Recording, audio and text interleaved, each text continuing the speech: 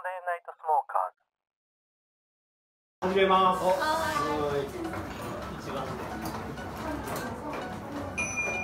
はい、よろしくお願いします。お願いします。えっ、と、シーシャビブリオバトルっていうイベントを開催して、今回で6回目になるんですけれども、あの、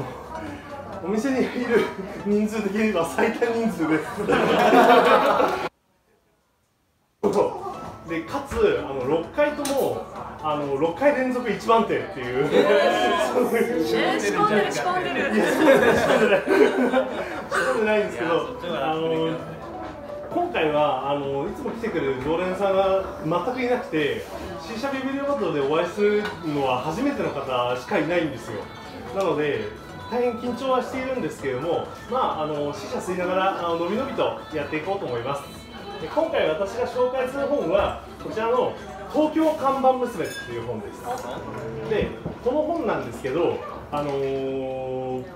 多分あの芸大芸術大学系のあの写真部写真家の人たち写真学科の人たちが中心となって作った本なんですがあの東京都内のいろんなお店の、あのー看板娘っていうのを撮っていってインタビューを軽くしてそれを載せている本ですでこの本なんですけど、あの年齢的にはもうあの6歳だったかな？の女の子からあの80何歳のおばあさんまで みんなみんないろんな年齢層のあの女性が収められてるんですけどあのこの本を手に取ったきっかけっていうのがあの近くのあの近くのというか引舟にあるあの宇佐美堂っていう古書店で私の友人が経営している本屋さんなんですけどそこで手に取りましたで手に取ってパラパラっとめくってた時にあの当時私竹の塚に住んでたんですけど竹の塚の店の看板娘が乗ってたんですよでああそこの店の人だと思って知ってる？で行ったことはなかったんですけどこの本読んでから行ってあこの人だとか思ってなんか、ね、か勝手にニヤニヤしながらあのあこの本に載ってた人だとか思いながらあのケーキ買ったりとかして、まあ、ケーキ屋さんだったんですけどあの他には不動産屋さんからアパレルの人から、あのいろんな人があのこの本には収められてます。で中でも印象的に残ったのはあの全体を見通してアパレル系の人ってやっぱりちょっと、あの尖った感じの人っていうか若くてすごい化粧がバッチリでっていう人も乗ってれば、あの和菓子屋さんの看板娘は本当に素朴で化粧気がなくてとかっていうすごいなんかイメージ通りだなっていうのがある中で、あのーやっぱり写真を学んでる大学の学科の人たちなんであのいちいち構図がうまいんですよ。で一人のあのうどん屋さんの、あのーとかあとカフェの人とかっていうのをアップばっかりじゃなくてこうやって引きで撮ったりとかしてすごいなんかお店の情景から浮かんでくるようなそういう写真の撮り方っていうのをしてたりかと思えばあのアップで映して、あのすごいこの女性がっていう魅力的な写し方をしてたりとかそういうところで結構、あの読んでて面白いなと思った本です。でこの写真の下の方にちょっと小さく文字が書いてあるんですけどこれがいわゆるお店の情報だったりとかちょっと一言二言インタビューをしたインタビューの内容だったりするんですね。でそういうところを見ててもすごくあの人柄が現れるんですよね。であの看板娘っていうからには女性なんですけれどもあのこういうふうなあのお店はこういう状態でとかっていう語る理路整然とした人もいればその一方でいやあの家族でやってるから電球の交換からやらなきゃいけないのよねとかっていう愚痴を交えながらインタビューに答えたりする人とかもいてすごいいろんな人のあの看板娘としての生き様っていうのがこの一冊にもうものすごいいっぱい収録されてるんですよ。でこの本を読んで思ったのはやっぱり街歩きしたいなってことなんですよ。でこの本には多くあの屋根線って言われる谷中とかあの谷中銀座とかの喫茶店も多いですし下北沢の古着屋さんとかも結構収録されてるんですけどあのとにかく東京都内巡ってあのいろんな人に会いたいいろんな人と話したいっていう気持ちがすごい湧いてくる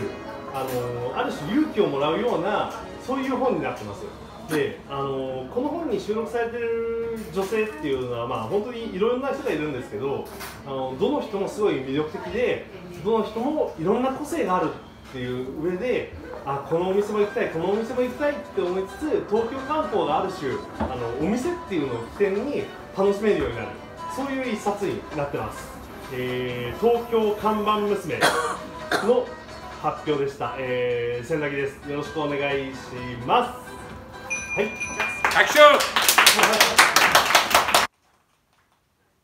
高橋さんいいですかはい。その6歳の女の子の看板娘っていうのが気になるんですけど、はい。どこですか？あえーとどこだったっけな？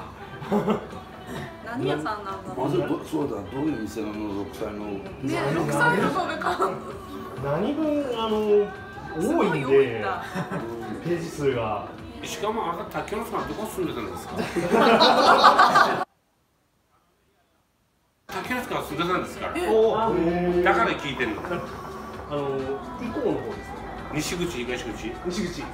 ああ西口のトネレ公園の。の方です